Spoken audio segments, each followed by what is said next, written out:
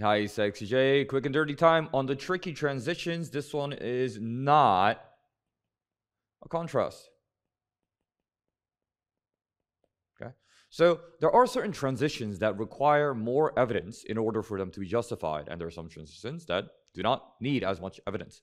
Um, my previous video probably was on the therefore one, which you know is a synonym of consequently. So that one requires a lot of evidence, as we covered in that video. Okay.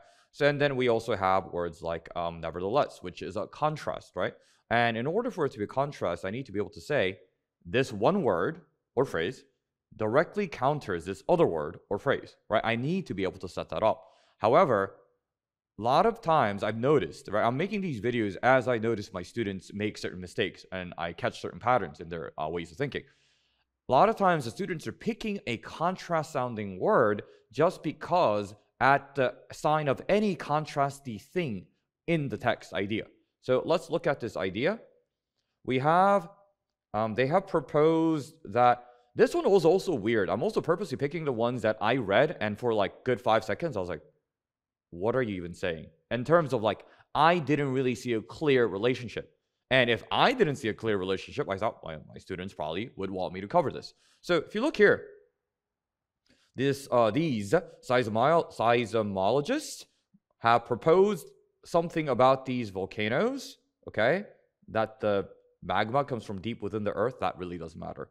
The great depths involved mark the Iceland's volcanoes as extreme outliers and okay, so we have this word here. Okay. Many of Earth's volcanoes are fed by shallow pockets of magma found less than 15 kilometers below the surface. Okay, so regularly speaking, a lot of people are going to go like, oh, this is like on the other hand. Like, I'm going to use a, a, strategy that J taught me. I'm going to paraphrase, put my own transition in there, and then, therefore, on the other hand, nevertheless, so that's my answer. But I have to be careful this paraphrase. Where is the idea that, on the other hand, coming from? Well, we have a lot of people do this, right? Again, I'm going through like actual mistakes made by the students. Okay, they go like great depths and then shallow, right? Or they go 3,000 and 15. They're like, J, clearly this is a contrast. Great depths versus shallow, 3,000 versus 15. That's on the other hand. Sure, they would be, except we're ignoring the word outlier. What is an outlier? Outlier is something that is unusual, right? So I already made the point that they are different. So is there an idea of a contrast in this paragraph? Sure, but that was already being done over here by the word outlier. I don't need to do it again here, okay? Like if I said, um, John and um, John and Henry are very different. And then in my next sentence, right, I go like, I'm not even. John and Henry are very different. Um, for example, John likes uh, pineapple pizza. And Henry, I don't know, punches people who eat pineapple pizza, whatever, right? So this is an example. Clearly here then, John and Henry are different people and they have differences. That's the whole point, right? But I would use a transition like, for example, because I already made the statement John and Henry are different. So my next statement is supporting that. For example, this one guy really likes the beach. The other guy likes to go to the mountains. Whatever. I don't really care. It is. Okay. So it is not a contrast.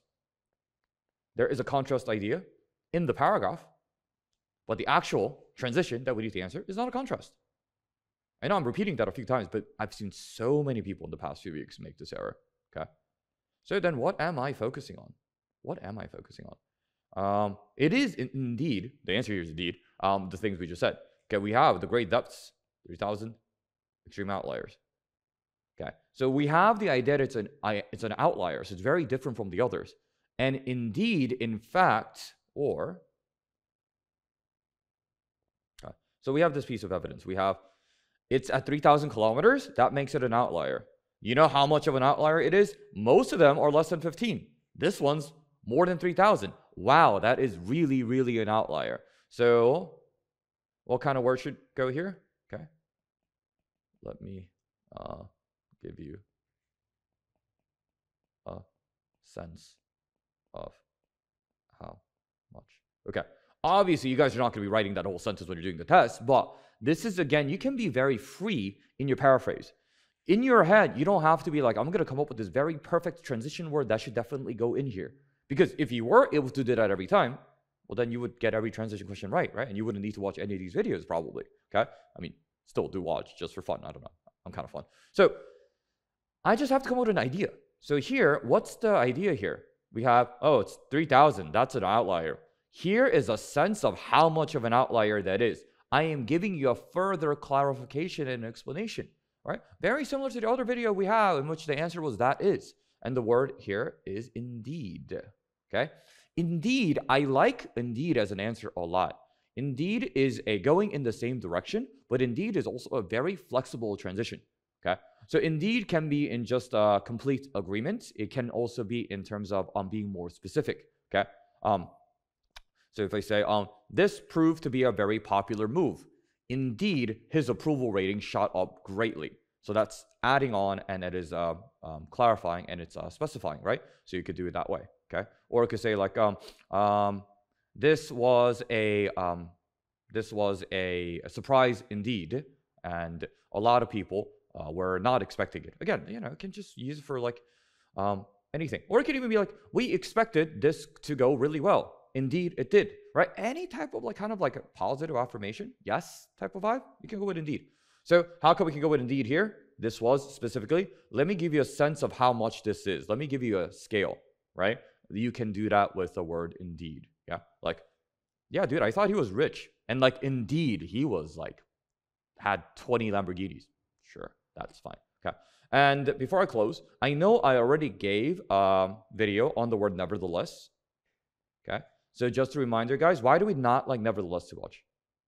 Right? Nevertheless is not just a contrast, it's also a very specific type of contrast. Okay. So that's what they do with like these like contrast trap things. Number one, obviously they'll give you a better answer, which is C, right? They'll also make it so that the contrast word is a very specific word. So it's really unlikely to be used. Okay. So that's it for um, this transition with uh, using the word indeed. And we'll just continue with the transition and vocab series at the moment. Uh, if you guys want to see any other topics besides transition to vocab, please let me know because I'm doing those too because those are the most requested. But if you guys want other things, I will do them. Because who is this? This is Sexy J. I can do pretty much anything SAT, ACT, whatever you guys want covered. Yeah. Okay, so study every day with who? Me, Sexy J. That's the best way. You already know. Bye bye.